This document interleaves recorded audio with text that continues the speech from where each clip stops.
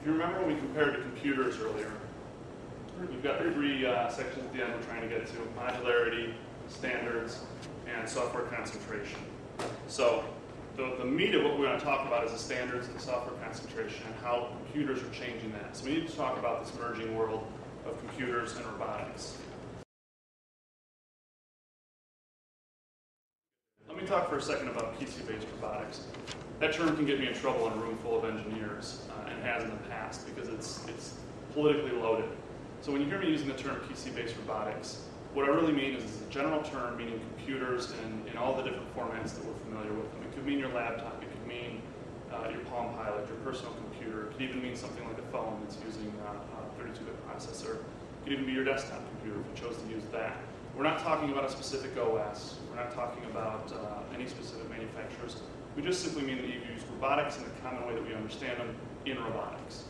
So some of the commonalities in computers basically would be a 32-bit processor, your common I.O. that we're used to, which is serial, USB, uh, wireless technologies, things of that nature. So that's really all I mean when we say PC-based robotics. We don't know what format is going to win in the end. We don't know which ones are going to be the most successful, and uh, that's okay for now. But it's, it's, really a general term. So don't attack me if, if you have preconceived notions of what PC means when you hear it. It's interesting to note that the processor itself is only one part of a robot. If you look at any given robot, it's going to have five main, five main sections. You're going to have mechanics, sensors, controllers, your processor, and software. So computers being merged with robotics is actually only one-fifth of a robotic system. So a lot of us have been very frustrated with why, why robotics isn't further along. A lot of people are saying, well, why aren't you guys more mature as an industry? We've watched computers blast way past robotics. We've watched communications technology blow way past. Why isn't robotics kept up? You know, we've been talking about this sort of technology for a very long time. So let me tell you a little anecdote. In 1985, there was a movie called War Games that came out. And there was a computer in there that became self-aware, and to amuse itself, it decided to play uh, war games with the human race. So just to give you a hint, your computer at home today is about 500 times more powerful than that computer was back then. So it couldn't have happened until now. Back then when we were thinking about robotics being able to do these things, we were thinking about AI, forget about it. Back in 1985 when we talked about it, it was impossible. I don't think we're worried about our computers at home today becoming self-aware. So that's the point. We've probably been waiting for the processor to mature in order to start building the robotics that we've been thinking about. So the computers being used in robotics is almost like the, uh, the big pink elephant in the room people, we talk about it, we know it's going to happen, but nobody has any real hard answers about how we're going to use it. And um, that's what I really want to focus on is how we can do that, how we can start to merge the two, and why we're ready for that now when we weren't before. So three major complaints that there used to be when it came to, uh, to computers was that it was too large, it's too expensive, and the I.O. is all wrong. They're not made for robotics. So now if we look at computers today, three of those problems have been solved. Computers are now small enough. Oh, that's my great slide for the emerging world of providing some computers. I wanted a robot, and Jenny, the girl, uh, drove nuts putting this together, says all you're getting is a little doll. So that's what that is.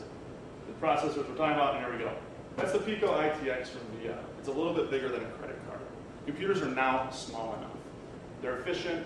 Uh, they're also cheap enough. That was the second thing thirdly, the I.O. being wrong, we now have the advent of bridgeware, which is solving the I.O. problem for us. So let's talk about bridgeware for a second. Bridgeware allows programmers to interact with electronics without having to know electronics. Bridgeware is being adopted by robotics in order to solve our problems when it comes to I.O. with computers. This is one of the examples that's out there. It's a serializer. It's made by Robotics Connection. On the left side, you've got, uh, they did it beautifully. They actually have modular uh, computer I/O on the left. You can choose whether you want wireless, USB, um, serial. Choose wireless. On the right side, you've got all your different robotics I/O that you need. You've got your PWMs, your I2Cs, your DC motor controllers. So you look at it like a large breakout board or a large converting board.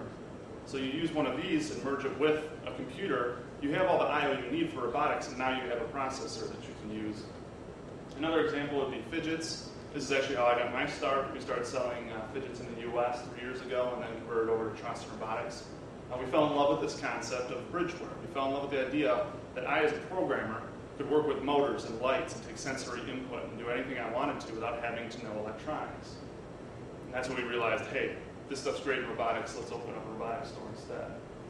Another example for Bridgeware is that it's very easy to control motors by using two different devices. On the left there you see servo controllers. There's one from Phidgets, one from Pololu, one from Parallax. Think you have to start your company name with a P for some reason in this area. On the right side you've got different sorts of motor controllers there. Uh, for those that don't know, a servo controller outputs a PWM signal. And motor controllers on the right take those in in order to uh, take their instructions. So on the left side you've got some serial and some USB connectors there You can produce your PWM with one of those boards, plug it into a motor controller, and you can control anything from a tiny, lightweight robot all the way up to something that's extremely heavy and extremely powerful. There's already some modularity going on there, so we're very excited about seeing that. So, where we need to go is standards that we can get to software concentration. I'm going to talk today about how we can do that with computers and how this solves some of our problems. There's a migration that's happening as people to move over to computers. Uh, keep in mind this migration isn't going to happen on the front lines of industry. It's not going to happen where there's mission critical things going on. It's going to happen in the basements and in the classrooms and trickle up from there. People are going to be problem solving for quite a while. The technology isn't perfect yet, and I'm not up here to convince you that it is. And I'm not up here to convince you that you need to start running uh, huge robotic arms with heavy OS systems on off-the-shelf computer components. That's not really what the message is. The message is more that we as a community need to start adapting to this technology and making use of it because it solves a lot of our problems uh, it's a lot of the things that we've been waiting for.